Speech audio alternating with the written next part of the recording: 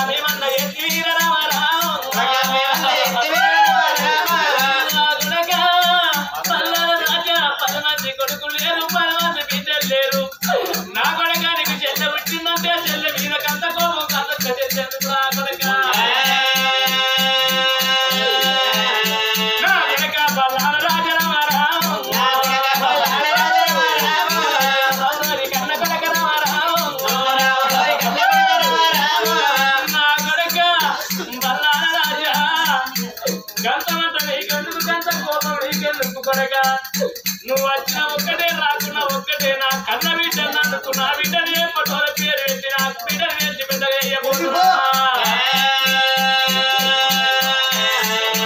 కాయకు తీగ బరువు కాదు తల్లిదండ్రికి బిడ్డ బరువు కాదంటారా మనారా మరి ఎటువంటి నా కొడుకు వచ్చిన ఒక్కటే రాకున్న ఒక్కటే. నా కొడుకు నా బిడ్డ పేరు పెట్టి నా బిడ్డని ఎప్పుడో పేర్చి పెద్దగా చేసి ఎవరికి ఇచ్చి లగ్గం చేసి కాళ్ళు పట్టుకపోతున్నట్టే నా పేరు నేపాల రాజు కాదు అని నేపాల మహారాజు పుట్టాడు తండ్రి పొట్టలో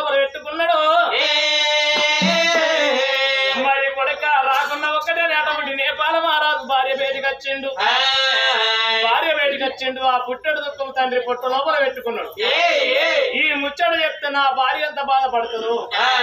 మరి నా భార్య ఎంత ఏడుతుందో ఎటువంటి బామ్మ మన కొడుకు వస్తారని మన కోడలు వస్తుందని చెప్పిండు.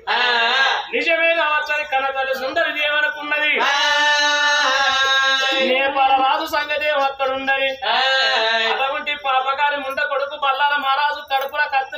నొట్టె బెల్లాలు పెట్టుకున్నాడు. అరే నాకు చెల్లె పుట్టిందంటే చేను లోపల చేతి బీరకాయ పుట్టినట్టు.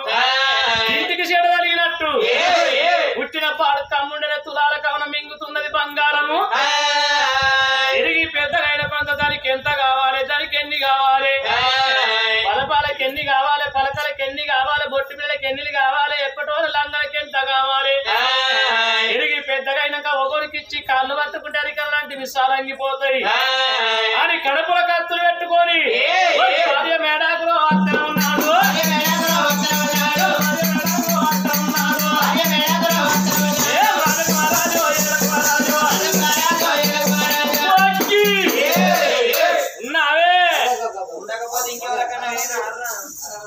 పోదామన్న బుద్ధి మత్తుకున్నది కానీ నేను తోలుతానా?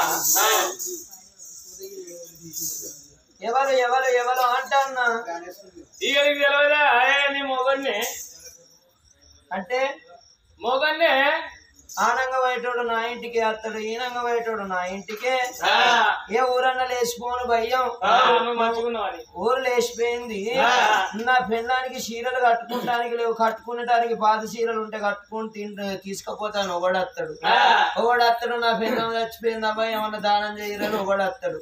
అయినా ఏ బాపతి గాడు ఆ, ఏ నీ మొగన్నే నాకు మొగర మేడ పాడబడ్డది మొగరమా మొగరమా మొగరము నేను ఏ మొగరం అనుకుందో దేవుడా దేవుడా.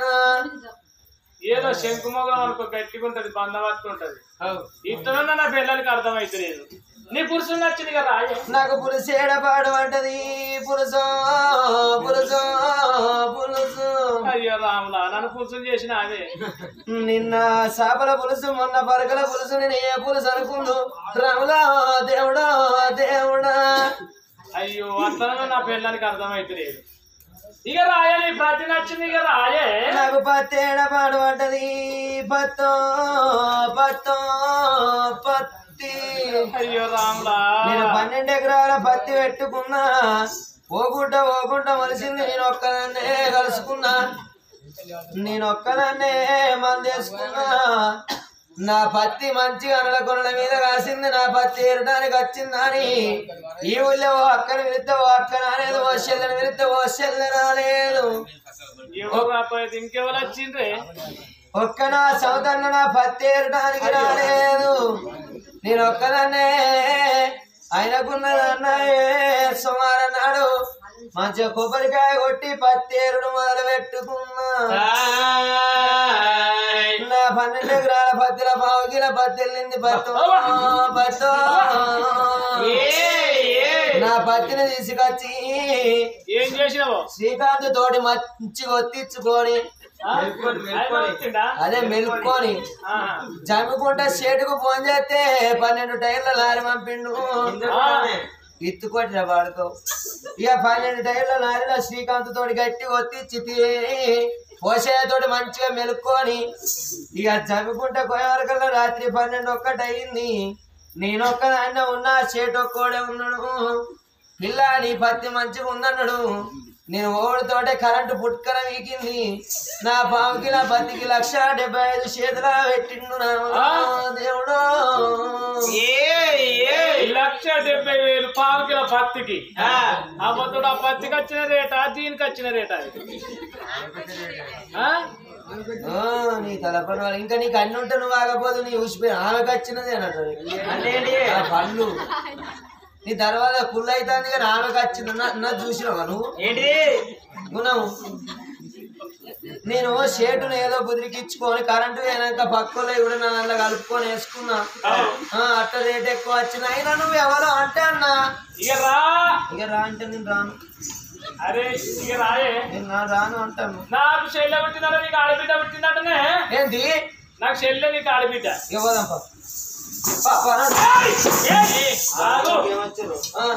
కడుపులో పుట్టిన కన్న కొడుకే లేని ప్రేమ కొనుకొచ్చిన కోడలు అని చెప్పి ప్రేమ అవ్వ? ఈడికి కోట్ల కవన బంగారం నూట ఒక్క తులాల కవన బంగారం పోతుంది బగారే బాగా నేర్పించినట్ట వైదన్న అన్నం నేర్పించినట్ట ఇరవై కింటల చికెన్ అట మా నలభై కింటల మటన్ అట ఉన్నది ఏమి లేకుండా జలగడిగినట్టు అవుతుంది నా ఇల్లు అని నేను బాధపడుతుంటే ఇది పొలం బాగా సంబరపడుతున్నది వాళ్ళ కడియాలు తీసుకుంటా. మంచి జిడ్డు పూసలు తీసుకుంటా. మంచి చిన్నది బంగారు ఛాయ్ తీసుకుంటా. పావులెత్తు చాలు పావుతులం. కాదు. ఇక నేను పోతాను నువ్వు వస్తావా? మరి రావా పోతావాయే మరి నా కాదు అవుతా పోరా చెప్పరు. ఓ ముచ్చరా పోవాలి చూడు పోకపోతే ఏమంటారు? అన్నగాడు ఏ పని మీద ఉన్నాడో రాలేడు కనుక వదిన పొద్దుగానన్న బుద్ధి ఉండదా? వదిన ఓ ఇంటి ఆడవిల్ల కాదా? ఆడవిల్లకు తెలియదా? కొద్దిగానన్న రీతిలో రానరా చూడు అందరూ అంటారు పోవద్దు అవునా? చెప్పరు. చూడు నా మహిళా సంఘం. నేను ఉన్నా ఎదురా రైతు మిత్రుల సంఘం.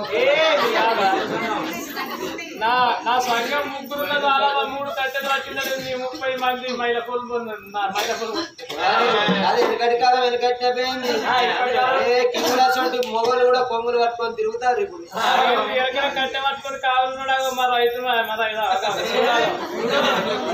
గది లేపుడే కట్టి లేపుడే కానీ ఇక. పోతా. ఈడికే ఒక్కటి కాదు రెండు కాదు ఒక కోటి రూపాయల ఖర్చు అయింది అంతే. ఇంకో అందులోకి ఇంకో ఇరవై వేల ఖర్చు చేయకు. వీకండి ఇంకా లక్ష రూపాయలు వేయనా మంచిది మనకి ఏం తక్కువ ఉన్నది ఏంటి తక్కువ ఉందా? బంగారం ఒక్కగాని ఒక్క అడవి ఇల్లా. నీకేమన్నా ఉన్నారా నాకేమన్నా అయ్యారా? మనకు నీకు లేకపోయా నాకు లేకపోయా. పుట్టద్దానే ఇక్కడ అక్కడ కాదు నేను కరీంనగర్ హాస్పిటల్లో పోయి అప్పుడే ఆపరేషన్ చేయించిన కదా. నీకు పుట్టద్దానే గదేరా గదే అన్ని చంపినావు కడుపు పెంచినావు ఇంకెందుకురా వద్దే కావాలా నేను పోతా నువ్వు అత్తన్నా మంచిదే నా ఆడబిడ్డ పెట్టుకోవాలి మనకి నా మాట వినకపోయినా ఉండేందుకు లేకెందుకు మరి ఏడనుకున్న ఎనబంధంతో ఎంత వాడు వచ్చిందని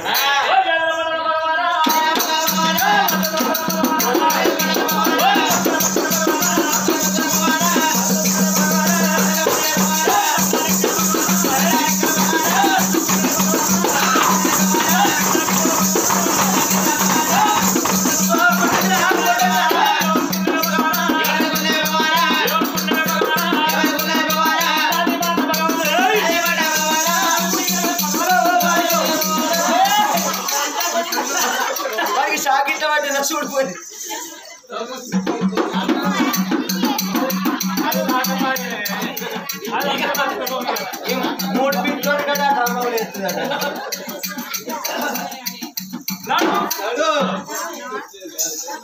అయిపోయిన ఆంధ్ర కొట్టుడు.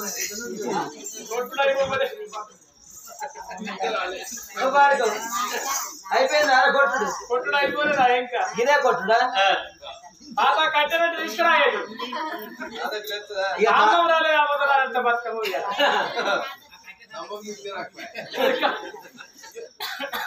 ఈ ఊళ్ళే రామచంద్రపురం కాడ ఒక్కొక్క మొగళ్ళు కొడితే గమ్మ తరిపిస్తుంది వాడుకో. గుబిల్లు గుబిల్లు గుబిల్లు అనేటట్టు గుద్దుతారు. నీ కొట్టుడు నీ సాతగంతల పండు వలగా పాడు ఇదే పండ్లు కొడుకుడే కానీ ఫైటింగ్ లేదు నీ దగ్గర. గిత్త కొడతారు పెన్నాన్ని కొట్టుడు గిత్త తుపిక్కు ఇంకెంత కొడతారే నా తుప్పుకుమంట ఆకాశ్ పండు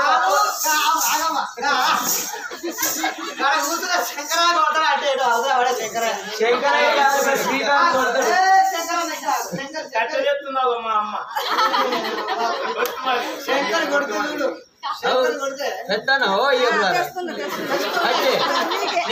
అయిపోయింది. అలా కొడుకు నా కొడుకుని ఇచ్చిన శంకరయ్య గదే కొట్టుడు ఈయన గదే కొట్టుడు ఇక ఇక నీకు ఉంటాను పాడుకో నేను పోతానా? నాకు బాధ నువ్వు పోతా. పాడుతావు ఇదిగో ఇది ఇగో వాళ్ళ బాధ అవుతుంది. అలా కాకసేటి మీద నా బట్టలు మరణ వేసిన. ఇడిచిన ఇడువని అన్ని పెట్టి ఇక నీకేదన్నా ఉంచుతాను రా పోతున్నా అన్ని మఫ్లర్ కాడ నుంచి కొంచబోతున్నా నీకు ఉంచు ఇక నేను పోతాను ఇక నేను రాను రా. ఓ, ఇక ఆ, నేను పోతాను కానీ ఆ, పైలం ఆ, నేను పోతాను కానీ ఇక చూసుకున్నా నువ్వు పోతుందా గెట తిరిగినా కానీ ఆరిటి వరకు ఇంటికి రా బాంచు.